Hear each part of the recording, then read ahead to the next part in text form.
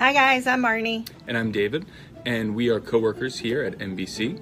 Uh, we've heard a lot about this intermittent fasting, and we've decided to give it a shot. Yesterday, I started this thing called intermittent fasting, which is everybody's doing it. You only eat during an eight hour period of the day.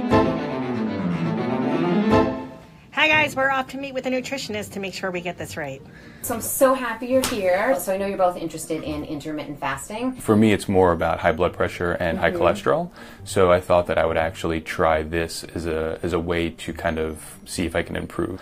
I want to do this to lose weight. I have two kids and I haven't really taken care of myself in all these years. So overall health is really where your interest is coming from. Intermittent fasting in general is just a way, I'd say the biggest benefit to it is that it, when you reduce the amount of hours that you're eating, you often eat less. the easiest way to stick with it is doing the 16 8. So 16 hours fasting, the 8 hours where you can eat. So, do you have to fast the same hours every day? You really don't. You can vary and it would also be fine if you broke it for a day. That's okay. You can just get right back onto it.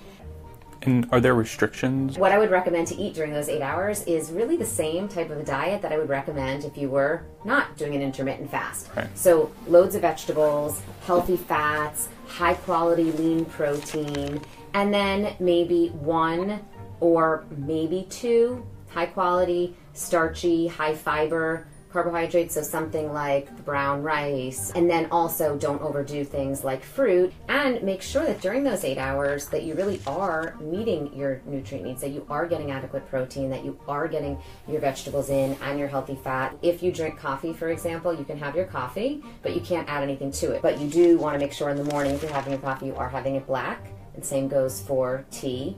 You can have green tea, black tea, any herbal tea. And then let's talk about alcohol for a moment many people ask me, should I have a glass of wine or should I have a tequila? And what I always tell people is have the drink that you enjoy the most. Because if you're going to have X amount of drinks a week while you're you know trying to become a healthier person, you want to enjoy that drink. I think you two are going to do great. It's definitely easier doing the fast during the week. The weekend was definitely the toughest. I think the caffeine from the black coffee definitely helps quiet down some of the hunger pangs. It's really not that difficult. I find that if I have a cup of black tea, I'm totally fine until noon. But really, it's been, it hasn't been hard. Though the scale doesn't say a difference, clothes fit me better. Honestly, I don't even think about it anymore. It just seems like the normal routine thing to do. I was surprised at how quickly that became like the normal feeling. Friday, I had a little bit of a slip up at my desk, but I'm fine. What was it? Um, I had Twizzlers and a bag of potato chips. Hi guys, today starts day um, 21. It's the beginning of my third week. Today's gonna be a hard day. I stopped eating, I wanna say like 9, 9.30 and I had two glasses of wine and I'm exhausted this morning. I'm probably not going to be able to eat until 1 or 1:30 today. I definitely will have tea this morning. Maybe a lot of it, but hopefully I get through it. Yesterday I was traveling, and traveling was a bit difficult. I had a bagel again. It's my go-to. Uh, around 10:30, getting off of schedule is really when I notice that I'm hungry in the morning. This is my breakfast for today. I don't know if you could see that. Some um, boiling water. And then I'm to add it to some filtered water with lemon.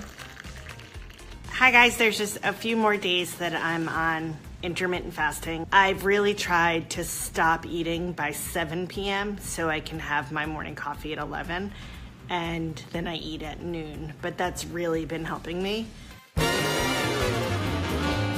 My stomach growled at the beginning, which is embarrassing in meetings, but it didn't really, it sort of went away. And my only trouble were, was really on the weekends when I'm making breakfast for my kids. That's where it became a problem for me, but I stuck to it. I didn't have any cheat days, so In the beginning, it was a lot easier than I thought it was going to be. I thought that it was going to be a lot harder. Monday through Friday was not a problem at all. On intermittent fasting, I definitely lost a few pounds, like I think it's three or four pounds, but um, my clothes definitely fit me better. The biggest result for me was um, being more conscious about the food that I was eating and just kind of realizing it's okay to feel hungry or like not feeling the need to kind of feel really full after every meal. I definitely lost, I would say, between two and four pounds. Um, the one thing that I would tell someone is that everything's worth a try, right? It's not that difficult. If I can do it, believe me, you can do it.